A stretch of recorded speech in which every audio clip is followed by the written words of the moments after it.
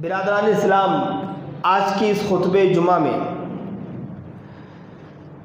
मैं एक ऐसे टॉपिक और उन्वान के तहत कुछ बातें इंतहाई संजीदगी के साथ आप के सामने रखने की कोशिश करूँगा, जो माशरे की, सोसाइटी की खसूस मुसलमानों के माशरे की एक अहम बिगाड़ है।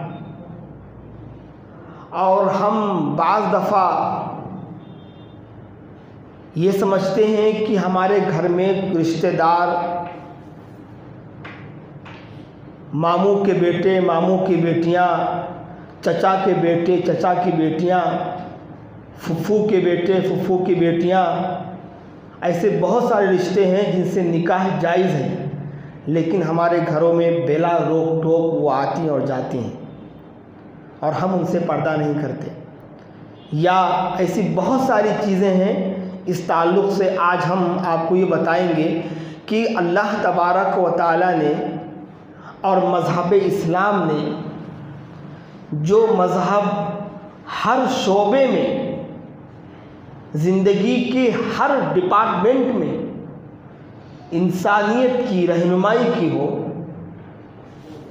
इंसानी ज़िंदगी का कोई शोबा कोई डिपार्टमेंट ऐसा नहीं है जिसके अंदर इस्लामी तालीमात मौजूद ना हो।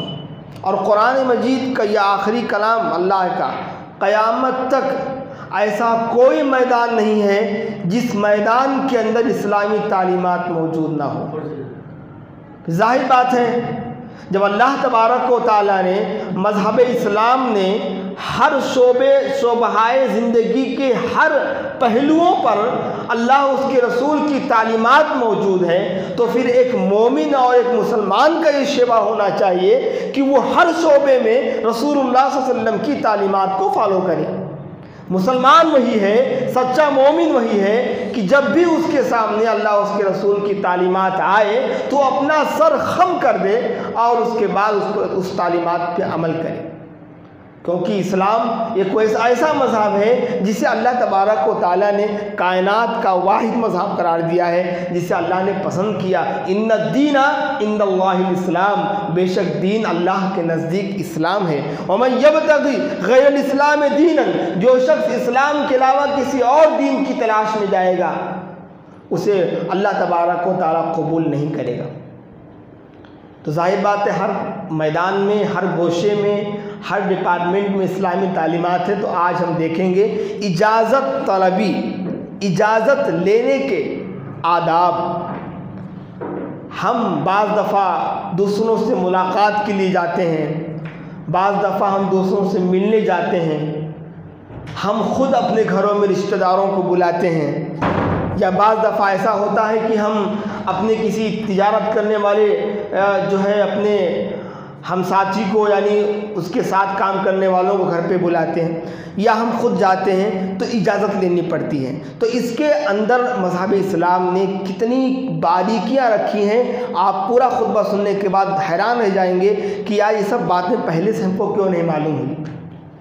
और वाकई, अगर सारी बातें हमारे जहन में बैठ जाए, इजाज़त लेते वक्त क्या क्या हमें किस किस आदाब का ख्याल रखना है, किसी से मुलाकात करते वक्त हम जब जाएँ तो किस किस चीज़ों का ख्याल रखें इन पूरी तफसील स्टेप बाय स्टेप आपके सामने आएँगी। पहला अदब इजाज़त तलबी का पहला अदब ये है कि आदमी जब किसी के घर जाए, मुलाकात की गरज से तो सबसे पहले वहाँ सलाम करें। उसके बाद इजाज़त तलब करें। ये बात कुरान मजीद के अंदर तीन आयतों में अल्लाह रब्बुल ने सलाम और इजाज़त तलबी की बातें बतलाई हैं। अल्लाह ने फरमाया आमनु ला ईमान वालो तुम अपने घरों के अलावा किसी घर में उस वक्त तक दाखिल ना हो। हत्ता तस्तानिसु व हत्ता तस्तानिसु यहाँ तक कि तुम घर वालों से इजाज़त ले लो व तसल्लिमु अलैहा और उन, उन घर वालों को सलाम कर लो। ज़ालिकुम खैरुल्लकुम ये तुम्हारे लिए बेहतर है बेहतर है। लाल्लकुम तज़क्करून। शायद कि तुम जो है पाकिज़ा नसीहत हासिल करो। तो पहला अदब क्या है कि इंसान जब किसी के घर जाए तो पहले सलाम और सलाम करे, अस्सलाम वालेकुम ज़ोर आवाज़ में। पूरा सलाम, अस्सलाम वालेकुम वरहमतुल्लाहि वबरकातुहू। उसके बाद घर में आने की इजाज़त या जिससे मुलाकात करना है, उससे बात उससे, उसके बारे में पूछने की बात की जाए। पहले सलाम। हज़रत अता रहमतुल्लाह ताबई हैं, मशहूर ताबई हैं। उन्होंने हज़रत अबू हुरैरा रज़ी अल्लाह सहाबी रसूल हैं, उनसे पूछते हैं कि आया अबू हुरैरा, अगर कोई आदमी किसी के घर जाए और सलाम ना करे और इजाज़त तलब करे तो क्या उसे इजाज़त दी जाएगी? हज़रत अबू हुरैरा रज़ी अल्लाह ने जवाब दिया कि क़तान नहीं। उस शख्स को चाहे वो दस मरतबा नहीं, पचास मरतबा इजाज़त ले जब तक कि वो सलाम करके इजाज़त तलब ना करे, तब तक उसको इजाज़त नहीं दी जाएगी, घर में दाखिल होने का परमिशन नहीं दी जाएगी। पहले वो सलाम करे, उसके बाद घर में आने की इजाज़त तलब करे। और रबी बिन खद्दाश रज़ी अल्लाह सहाबी हैं, वो कहते हैं कि बनु आमिर एक कबीला है, उसका एक आदमी रसूलुल्लाह सल्लल्लाहु अलैहि वसल्लम से मिलने की गरज से आया, मुलाकात करने की गरज से आया। और आते ही आप सल्लल्लाहु अलैहि वसल्लम के दरवाज़े पे दस्तक दे के कहने लगा कि क्या मैं दाखिल हो सकता हूँ? या रसूल अल्लाह क्या मैं अंदर आ सकता हूँ? आप सल्लल्लाहु अलैहि वसल्लम ने अपने खादिम से कहा, जाओ, उस शख्स को बताओ कि इजाज़त लेने के आदाब क्या हैं? उसे बताओ कि इजाज़त कैसे ली जाती है? पहले सलाम की जाता है, उसके बाद इजाज़त तलब की जाती है। चुनाच वो खादिम गया और ये बात उस शख्स ने सुन लिया। तो उसने, अस्सलाम का या रसूल अल्लाह कहकर, अल्लाह के नबी, क्या मैं आ सकता हूँ? उसके बाद आप सल्लल्लाहु अलैहि वसल्लम ने उन्हें इजाज़त दी। इसी तरह से सफ़वान बिन उमैया रज़ी अल्लाह बाद में सहाबी बाद में मुसलमान हुए। मुसलमान होने के बाद उन्होंने एक आ, उन, उन्होंने किसी का तोहफ़ा रसोल्ला वसल्लम के पास लेकर आए तो घर में दाखिल हो गए या जहाँ मजलिस थी वहाँ दाखिल हो गए। आपने फरमाया सफ़वान वापस जाओ जाके वहाँ से सलाम करो उसके बाद अंदर आने की इजाज़त मांगो फिर अंदर आके बैठो। देखा आपने? अलैहि वसल्लम की इतनी सख्त आदाब है। इजाज़त से पहले सलाम। अस्सलाम वालेकुम या अहला बुयूतिकुम, या अहला बुयूत कहो, या फिर वो अगर अरबी में नहीं तो कम से कम उर्दू में, अस्सलाम वालेकुम तमाम घर वाले या अस्सलाम वालेकुम रहमतुल्लाह बरकातहू कह के क्या मैं अंदर आ सकता हूँ? आप उससे इजाज़त तलब कर सकते हैं। दूसरा अदब ये है इस सिलसिले में, जो बहुत अहम है। आदमी जब किसी के घर जाए तो अस्सलाम वालेकुम कहने के बाद इजाज़त तलब करें। कितनी बार? एक बार, दो बार, तीन बार। इस्लाम ने उसकी हद मुकर कर दी है। तीन मरतबा। वो आदमी तीन मरतबा उस अहले खाना से इजाज़त तलब करेगा, क्या मैं अंदर दाखिल हो सकता हूँ? क्या मैं अंदर दाखिल हो सकता हूँ? क्या मैं अंदर आ सकता हूँ? अगर अंदर से कोई जवाब नहीं आ रहा है तो उस आदमी को के लिए ज़रूरी है कि वो वापस लौट जाए। ये आदाब देखिए, हज़रत साद, कैस बिन साद बिन वबादा रज़ी अल्लाह बिन वबादा सहाबी उनके बेटे कैस। वो कहते हैं कि एक मरतबा हमारे वालिद मोहतरम साद बिन वबादा रज़ी अल्लाह घर में बैठे हुए थे। तशरीफ़ रखे थे। इतने में रसूलुल्लाह सल्लल्लाहु अलैहि वसल्लम ने आके सलाम किया। अस्सलाम अलैका या साद बिन वादा। ऐ साद बिन वादा, तुम पर सलामती हो। क्या मैं अंदर दाखिल हो सकता हूँ? साद बिन वादा खामोश रहे। बेटी ने कहा वो रसूलुल्लाह, अल्लाह के रसूल आए घर पे। आप खामोश हैं। कार्य खामोश रहो। मैं चाहता हूँ कि ज़्यादा सलाम करें। मेरे लिए सलामती की दुआ रसूलुल्लाह वसल्लम से ज़्यादा मिली, इसलिए मैं खामोश हूँ। तुम बोलो मत। दूसरी मरतबा वसल्लम ने कहा, सलाम या साद। अरे साद, तुम पर सलामती हो। क्या मैं अंदर दाखिल हो सकता हूँ? साथ में बोला खामोश रहे। बेटा भी मुस्कुरा रहे, बाप भी मुस्कुरा रहे। खामोश। तीसरी मरतबा रसूल वसल्लम ने पूछा, सलाम करने के बाद, अरे साहब, क्या मैं अंदर दाखिल हो सकता हूँ? साद वादा खामोश है इतने में रसूल वसल्लम उड़ के जाने लगे। साद वादा फ़ौरन घर से बाहर निकले, दौड़ते हुए गए कहा रसूल ठेरे ठेरे आप क्यों जा रहे हैं? अल्लाह के नबी, दरअसल मैं आपका सलाम भी सुन रहा था और आहिस्ता जवाब भी दे रहा था। मगर मेरी ख्वाहिश ये थी कि आप मेरे ऊपर सलामती की दुआ ज़्यादा करें। इसलिए मैं खामोश रहा। और अल्लाह के नबी, आप मेरे घर चलिए, तशरीफ़ रखिए। सल्लल्लाहु वसल्लम गए और उनके तमाम अहल खाना के लिए दुआएँ की। किसी मकसद से गए होंगे? तो मालूम क्या हुआ कि इजाज़त तीन मरतबा ली जाए, अगर ना मिले तो वापस लौट जाओ। और इसी इसी बात की एक और रिवायत बड़ी दिलचस्प है, हज़रत अबू सैद खुदरी रज़ी अल्लाह वो बयान करते हैं कि हम एक मरतबा अंसार की जमात में बैठे हुए थे। बातें चल रही थी। इतने में अबू मूसा आशरी रज़ी अल्लाह मशहूर साहबी रसूल हैं, वो दौड़ते और हाफते काफते हुए आए। और कहा रे लोगों, सुनो, गजब हो गया। अरे अरे, गजब हो गया, सुनो, आए मेरे साथियों, कहा, क्या हुआ, अबू मूसा, क्यों इतना परेशान हो, क्या बात है? कहा, असल में मैं उमर रज़ील्ला के घर पे गया था। ये कब का वाक़ है? अमीर मोमिन बनने के बाद का। उमर रज़ील्ला के जमा, घर पे गया था और मैंने दरवाजे पे दस्तक दी और इजाज़त तलब की। तीन मरतबा मैंने इजाज़त मांगी, मगर जब कुछ जवाब नहीं आया, मैं वापस लौटने लगा। इतने में हज़रत उमर रज़ील्ला मुझे बुलाया और कहा वो मूसा, क्यों क्यों वापस जा रहे हो? तो मूसा आशिर ने कहा कि दरअसल मैं वापस इसलिए हो रहा हूँ क्योंकि मैंने रसूलुल्लाह वसल्लम की एक हदीस सुनी है कि अगर तीन मरतबा इजाज़त लो, अगर मिल जाए तो दाखिल हो, अगर ना मिले तो वापस लौट जाओ। हज़रत उमर रज़ी कितने सख्त मिजाज के थे और कितने जो है इन सब मामलों में कितने सख्त थे। कोबरा उठाया और कहा मूसा शरी देख रहे मेरे हाथ में क्या है? अल्लाह की कसम, तेरी ये हदीस उस वक्त तक मैं कबूल नहीं करूँगा, जब तक कि तू इस पर किसी को गवाह ना लेकर आए। मैं भागते भागते तुम्हारी मजलिस में आया, मुझे बताओ कि तुम में से किसने हदीस सुनी है? सब परेशान थे। अरे भाई, बात तो सही है। कहा, देखो, मुझे कोड़ा मिलेगा हाँ आज मैं मार खा जाऊँगा, है तो उम्र के हाथ से। इसलिए मुझे तुम में से बताओ किसने ये हदीस सुनी है रसोल्ला से। कितने सख्त है हदीस के मामले में। आप का कौल ऐसे आम बात नहीं होती, हदीस बयान कर दो। रसोल्ला वसल्लम ने फरमाया रसोल्ला वसल्लम ने फरमाया, ना हदीस का कोई पैर और ना हदीस का कोई सर रहता है। ज़यीफ़ हदीसें, मौजू हदीसों को ला बयान कर दिया एक कमाल की बात नहीं है। आप जो भी बयान करते हैं, वो रसोल्ला वसल्लम की ज़िंदगी पर और आप पर बोहतान कर रहे हैं। और ये बहुत बड़ा गुनाह है, जहन्नम में जाने का सबब है। अब हदीस सुनने के बाद ये शर्त लगा दी। अब मूसा आशरी ने मजलिस में कहा, भाई, किसको मालूम है? ज़रा उठो, कोई भी तो मेरी मदद करो, वरना आज मार खा जाएँगे हम।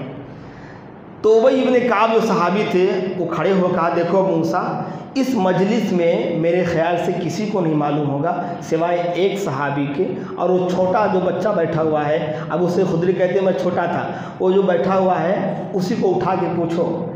अबू मूसा आशरी ने कहा अबू सईद, क्या तुमने ये हदीस सुनी है? कहा हाँ मैंने सुनी है? कहा, चलो चलो अभी मेरे साथ। ले गए तो हमारा दिला ने कहा, अबू सईद खुदरी हदीस पढ़ के सुनाओ। उन्होंने हदीस पढ़ के सुनाई, कहा वसल्लम की ज़बानी मैंने खुद अपने कानों से सुना है। लिहाजा जब तीन मरतबा जाए तलब की जाए और ना मिले तो वापस लौट जाओ। उमर रज़ील्ला मुस्कुराए और इतमान हो गया। ये देखिए तो मालूम क्या हुआ कि तीन मरतबा इजाज़त तलब की जाएगी। अगर मिलती है तो दाखिल हो, अगर इजाज़त नहीं मिलती है तो वापस घर को लौट जाए। इसी तरह से एक और अदब ये है कि औलाद को ये चाहिए, चाहे बेटी हो या बेटे, कि माँ बाप के कमरे में दाखिल होने से पहले सलाम करें और उसके बाद दाखिल होने की इजाज़त तलब करें। बहुत अहम मसला है। बहुत ज़्यादा। आज के मॉडर्न दौर में घरों में ऐसी जॉइंट फैमिली रहती है, तमाम घरों में आना जाना एक आम सी बात है, कमरों में आना जाना एक आम सी बात है। बाज़ दफ़ा मॉडर्न ये तहज़ीब कहते हैं कि मगरबी कल्चर का इतना गलबा है कि बाप बेटी के कमरे में बैठकर, माँ जो है बेटे के कमरे में बैठते बहुत सारी बातें हैं, बताएँगे तो बहुत टाइम लग जाएगा, मुझे अपने असल मकसद से निकल जाना पड़ेगा फिर। खैर, औलाद को चाहिए कि अपने माँ बाप के कमरे में जाने से पहले इजाज़त लें, दाखिल हो, क्योंकि हदीस शरीफ, हम अम्मा आयशा सिद्दीक़ा ताला अन्हा, आप सल्लल्लाहु अलैहि वसल्लम की चहेती बीवी अम्मा आयशा, हम तमाम मुसलमानों की माँ उन खुद बयान करती हैं कि एक मरतबा रसूलुल्लाह वसल्लम की चहेती बेटी फ़ातिमा रज़ी अल्लाह तआला अपने अब्बू से मिलने के लिए आई और दरवाजे पे दस्तक दी। आए मेरे अबू जान, आए या रसूलुल्लाह, मैं फ़ातिमा आपसे मिलने के लिए आई। अम्मा आयशा कहती हैं कि उस वक्त रसूलुल्लाह वसल्लम चादर में मेरे साथ लिपट कर सो रहे थे। क्या मालूम है इससे? इजाज़त औलाद के लिए ज़रूरी है, मुमकिन है कि माँ बाप जिस हालत में भी हों, वो देखना पसंद नहीं। लिहाजा अम्मा आयशा रज़ील्ला कहती हैं कि मैं रसोल्ला वसल्लम के साथ या रसोल्ला वसल्लम मेरे साथ एक चादर में लिपटे हुए थे, आप उठे और आपने जाकर दरवाज़ा खोला। इसी तरह से एक ताबई हैं, वो कहते हैं कि उन्होंने पूछा कि क्या मैं अपनी माँ के पास अगर जाऊँ कमरे में किसी काम से तो मैं अपने माँ से भी इजाज़त मांगूँ? तो सहाब रसूल ने कहा कि देखो, क्या तुम अपने माँ को हर हालत में देखना पसंद करोगे? नहीं ना। तो इसलिए जब आप अपनी माँ को हर हालत में देखना पसंद नहीं करते, नहीं करोगे तो ज़रूरी है कि तुम भी इजाज़त तलब करके ही घर में जाओ। और अल्लाह तबारक व ताली ने सूर्य नूर के अंदर एक आयत करीमा ही उतार दी है। और उस आयत की रूह से तीन औकात ऐसे हैं, जिसमें कोई भी बच्चा जो बालिग हो चुका है, जो बलूगत को पहुँच चुका है, या गुलाम या लौंडी, वो अपने आका के घर में कमरे में तीन औकात में दाखिल ना हो कुरान ने आसमान से अल्लाह रब्बुल आलमीन ने उन तीन औकात की तहदीद की। फरमाया मलकत अयमानुकुम वल्लदीन वालो, तुम्हें चाहिए कि तुम इजाज़त तलब करो। तुम में से जो बालिग बच्चे हैं या जो गुलाम लौडी हैं वो, कब? तीन औकात में। नंबर एक, मिन कबल सलातिल फज्र। फज्र की नमाज़ से पहले, क्योंकि अरबों में खसूस अब आपको पता है, हम सबको मालूम है, उस अवकात में फजर की नमाज़ से पहले जो है आदमी, बीवी के साथ, बच्चों के साथ जिस हालत में भी रहता है, अगर कोई जाना चाहता है, उसमें से तो इजाज़त मांग कर ही जाए। मिन कबल सलातिल फज्र फज्र की नमाज़ से पहले, व मिन कबल सलातिल इशा बाद सलातिल इशा, और दूसरा ईशा की नमाज़ के बाद और तीसरा जहर की नमाज़ के बाद। इसको यूँ कह लीजिए, फजर की नमाज़ से पहले, जहर की नमाज़ के बाद और ईशा की नमाज़ के बाद। जहर की नमाज़ के बाद इसलिए कि अरबों में, आज भी अरबों में कैलूला करने का बहुत ही रिवाज। और सुन्नत भी है और आप की हदीस है कि कैलूला करो कैलू कैलूला करो क्योंकि शैतान कैलूला नहीं करता। उसके बहुत सारे फ़ायदे आज के साइंटिस्ट जो है डॉक्टर्स ने बहुत सारे फ़ायदे बताए हैं कि जो आदमी थोड़ा आधा घंटा, एक घंटा थोड़ा सो लेता है, वो उसका दिमाग, उसका ब्रेन जो होता है, वो एक अलग तरीके से काम करना शुरू होता है उसके बाद से। उसको सुकून मिल जाने के बाद। तो कम से कम अपनी हालत ज़िंदगी में इसको अगर वक्त मिले तो आधा घंटा कल्ला करना चाहिए। तो अरबों में एक आम रिवाज, जो सिस्टम था, वो टाइम पर कोई भी किसी के घर नहीं जाता था, जहर के बाद। जहर के बाद साहब कराम में कोई भी सहाबी, इल्ला की कोई ज़रूरी काम हो तब, नहीं तो कोई भी सहाबी आम सिस्टम था कि लोग आराम करते थे जो थोड़ा आराम करते, कैलूला करते थे और कोई किसी के घर नहीं जाता था। अब कैलूला करेंगे, अगर बीवी है तो उसके साथ रहेंगे बिस्तर पे। अब कैसी कंडीशन होगी, क्या होगी वल्ला वलम। इसलिए कहा गया कि तीन अवकात में इजाज़त तलब करके ही बच्चे माँ बाप के कमरे में जाएँ। और एक अदब उसमें से ये भी है कि जहाँ बच्चों को इस बात की पर में, इस बात का हुक्म दिया गया है कि माँ बाप के कमरों में इजाज़त लेकर ही जाएँ, वहीं पर वालदेन के लिए भी ये हुक्म है कि वो भी अपने बच्चों के कमरे में इजाज़त लेकर दाखिल हों। अगर बच्चे बालिग हैं, नौजवान हैं, ख़ास तौर पर क्योंकि बाज़ दफ़ा ऐसा होता है कि अगर बच्चा शादीशुदा है, अपने उनकी बहू के साथ है या अगर शादीशुदा नहीं भी है तो कई कैसी भी कंडीशन में वो वहाँ मौजूद है। इसलिए माँ बाप को भी चाहिए कि अपने बच्चों के कमरे में दाखिल हो तो इजाज़त मांग कर। क्योंकि हज़रत अब्दुल्ला बिन उमर रज़ी हज़रत उमर के लड़के हैं। जब इनके बच्चे बड़े हुए तो इन्होंने अपने बच्चों के कमरे अलग कर दिए। कमरे अलग करने के साथ जब भी जाते अपने बच्चों के कमरे में तो इजाज़त तलब करने के बाद बाद ही जाते हैं। मगर जॉइंट फैमिली में ये सब नहीं है मॉडर्न दौर में। मॉडर्न दौर में सब नापैद है, कहीं उसका शोर तक नहीं। लोग धराधर दूसरों के, बहू बेटी के मानिन सब कुछ जायज़, बहू के साथ। ससुर, बहुत सारे मामलात हैं। देवर भाउज इसी तरह से जो है, जेठ, जेठानी, ये सब बहुत सारी चीज़ें हैं जो बेरा किसी पर्दा के और बेरा किसी। और मैंने बताया कि इजाज़त तलबी की जो आदाब है, इसका पर्दे से बड़ा गहरा ताल्लुक़ है। बड़ा गहरा ताल्लुक है। अगर पर्दा इससे हटा तो मतलब ही नहीं जात लेने का। पर्दे से इसका बड़ा गहरा ताल्लुक है। इसीलिए घर में अगर बच्चे बड़े हों, मुमकिन है अगर अगर अल्लाह ने दौलत दी है घर बड़ा है तो उनके कमरे अलग कर दो।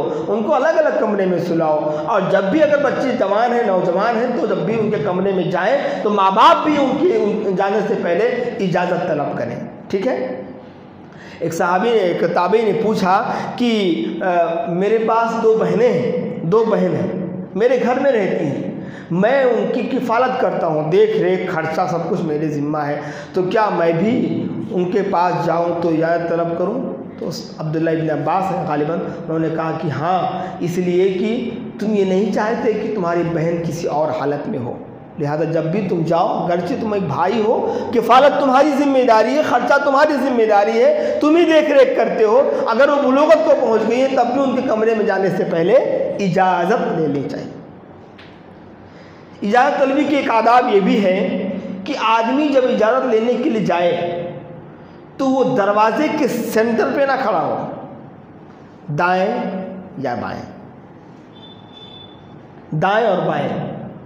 सेंटर पे नहीं, क्योंकि रसोल्ला वसल्लम का एक आदत आदत ये भी थी। अब्दुल्ला बिन बसर रज़ी कहते हैं कि रसूलुल्लाह वसल्लम जब घर पे किसी जाती मुलाकात करने की गरज से तो आप जब सलाम करते तो दाएँ तरफ़ रहते या तो बाएँ तरफ़ रहते? और यही सही बात है, क्योंकि दाएँ और बाएँ रहकर ही सलाम सलाम किया जाए और इजाज़त मांगी जाए। मुमकिन है, दरवाज़ा कोई जल्दी से खोल दे, खातून हो तो। खातून हो। कोई नासमझी में दरवाज़ा खोल दे, बाली खातून है, आप उसे नहीं देखना हराम है आपके लिए, वो सामने आ जाए। इसलिए दाएँ या बाएँ ठहर कर इजाज़त भी मांगी जाए और सलाम के भी जाए। दरवाजे के सेंटर में खड़ा ना हो जाए। इसी तरह से एक एक और अदब ये है जो बहुत अहम है। जब भी किसी के घर इजाज़त के लिए मुलाकात की गरज से जाएँ, दाखिल होने से पहले इजाज़त की गरज से, इजाज़त जब लें, उस वक्त अगर आपको कोई आवाज़ नहीं मिल रहा है तो आप उस घर में झांके ना। बहुत बड़ा गुनाह है और आदाब के ख़िलाफ़ है। बाज़ लोग क्या करते हैं? बेल बजा दिए। खड़े हैं। कोई आवाज़ नहीं। फिर बेल दिए। खड़े कोई आवाज़ नहीं। क्या हुआ? घर में कोई नहीं दिख रहा है। तो खिड़की के पास जाके, भाई, क्या है? खिड़की से देखेंगे कोई? नहीं, अगर इस्लामी हुकूमत होती तो आपके आँख फोड़ते जाते, हैं? अगर इस्लामी हुकूमत है तो इस्लामी हुकूमत के अंदर ये जायज़ और दुरुस्त है। अगर कोई शख्स किसी के घर में मुलाकात के लिए जाए इजाज़त के बाद अगर कोई जवाब नहीं मिलता है और वो खिड़कियों से या कंखियों के ज़रिए किसी सुराख से अंदर झांकने की कोशिश करता है और घर के साहिब मकान उसकी आँख फोड़ देते हैं, इस्लामी हुकूमत अगर है तो उस पर कोई किसास नहीं ये आदाब है, हम मामूली समझते सब चीज़ों को। रसूलुल्लाह सल्लल्लाहु अलैहि वसल्लम ने एक मरतबा घर में बैठकर या खड़े होकर बालों में कंघी कर रहे थे। एक सहाबी एक सहाबी हैं, वो आके आप से इजाज़त मांगने लगे। शायद आप ने सुना नहीं तो जब कुछ आवाज़ नहीं आई तो वो झरोखों से या फिर खिड़कियों से आप के घर में झाँकने लगे। आपने उन्हें बुलाया और कहा, देखो, काश मुझे मालूम होता कि तुम पहले से झाँक रहे हो, मेरी नज़र तो अभी पड़ी, तुम अंदर आ गए। अगर मुझे पहले मालूम होता कि तुम मेरे घर में झाँक रहे हो तो ये कंघी तुम्हारे आँख में डाल देता। तुम्हारी आँख फुट जाती। और रसूलुल्लाह वसल्लम की वह हदीस भी अपने कानों में से ज़रिए सुनिए, जिसमें रसूलुल्लाह वसल्लम ने फरमाया कि मनितला फ़ी बैतिन कौमुन। अगर कोई शख्स किसी के घर में झांके और बगैर इज़्न, बगैर इजाज़त के कोई भी शख्स किसी के घर में बगैर इजाज़त के झांके तो फला तो उसके लिए जायज़ और दुरुस्त है कि वो उसकी आँख को फोड़ दे। लिहाजा ये दुरुस्त और जायज़ नहीं है कि आदमी बगैर अगर इजाज़त नहीं मिलता तो लौट जाए, मगर उसके घरों में झांकने की कोशिश ना करें। मुमकिन है घर में कुछ और मामलात हो। इसलिए एक और अदब आपके सामने रखता हूँ।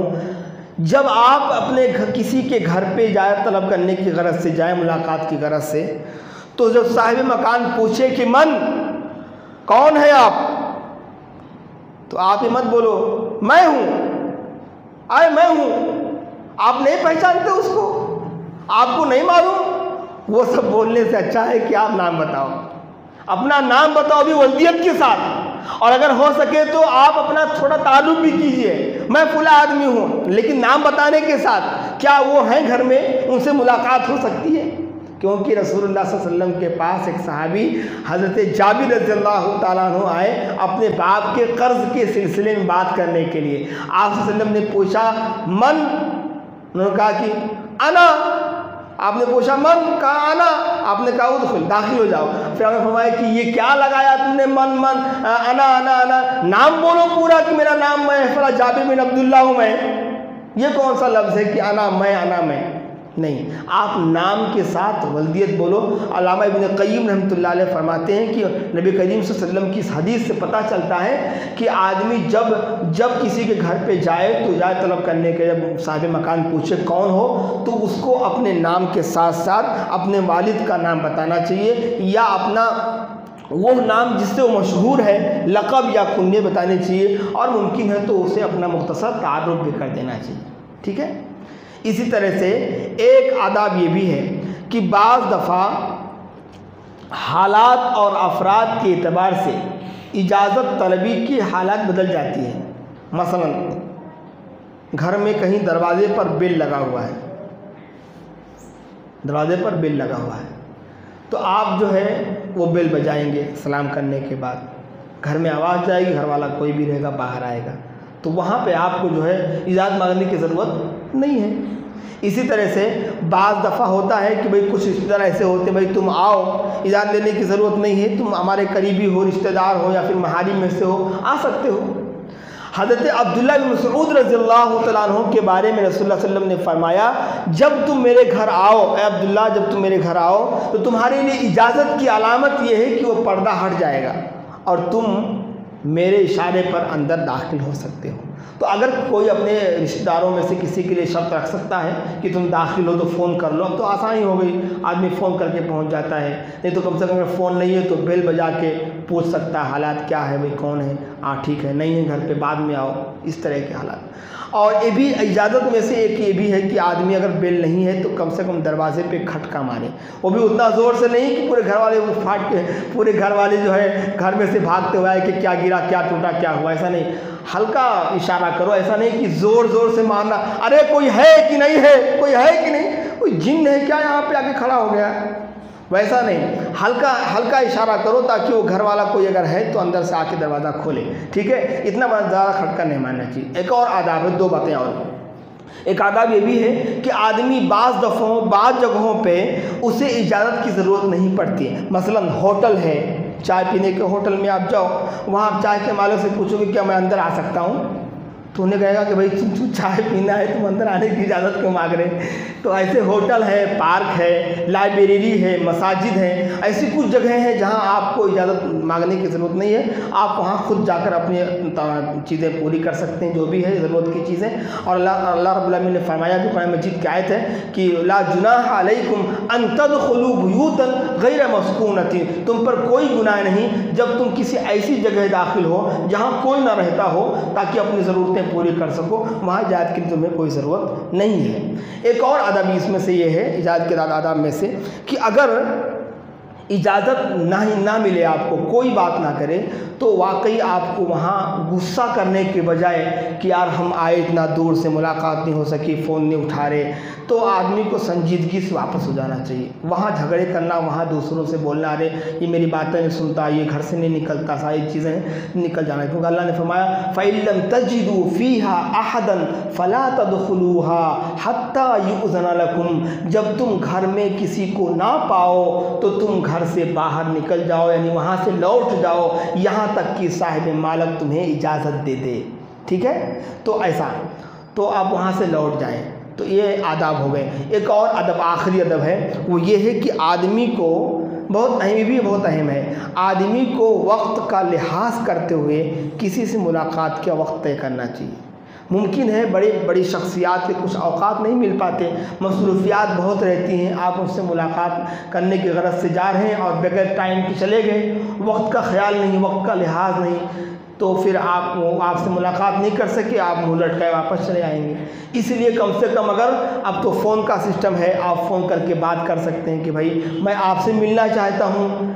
क्या आप हमारे लिए वक्त निकाल सकते जी, आप ये टाइम पर आइए तो आप वहाँ जाके मिल लीजिए। या किसी से फ़ोन पे बात करते कोई मशरूफ़ मसरूफ़ शख्सियत है, आप बोल सकते हैं, भाई, आपसे क्या मैं दो मिनट ले सकता हूँ? ये अदब है अदब है। और इससे मोहब्बत भी कायम रहती कि देखो, सामने वाला मुझे कितना रिस्पेक्ट दे रहा है। भाई, भैया, आप आप फुला बोल रहे जी जी। क्या मैं आप एक मसला पूछना चाहता हूँ? कि आप दो मिनट में मेरे लिए दे सकते हैं? हाँ हाँ बिल्कुल दे सकते हैं। सामने वाला का भी दिल खुश हो जाएगा। इसलिए कभी भी फ़ोन करते वक्त या मुलाकात करते वक्त वक्त का लिहाज करना ज़रूरी है। और इसमें से एक बात और, बाज़ लोग फ़ोन करने के बाद फ़ोन नहीं उठाते तो फ़ोन पे फ़ोन फ़ोन पे फ़ोन फ़ोन पे नमाज़ डिस्टर्ब हो जाती है। नमाज़ डिस्टर्ब हो जाती, इतना भी नहीं पता कि भाई फ़ोन नहीं उठा रहा तो कुछ बात होगी, ज़रा दस मिनट ठहर जाओ। दस मिनट भी नहीं, फ़ोन पे फ़ोन फ़ोन पे फ़ोन। अब अगर कहीं मस्जिद में किसी ने गाने का लगाया है तो फिर कोई मस्जिद के समान नमाजों की नमाज़ ख़राब हो जाती।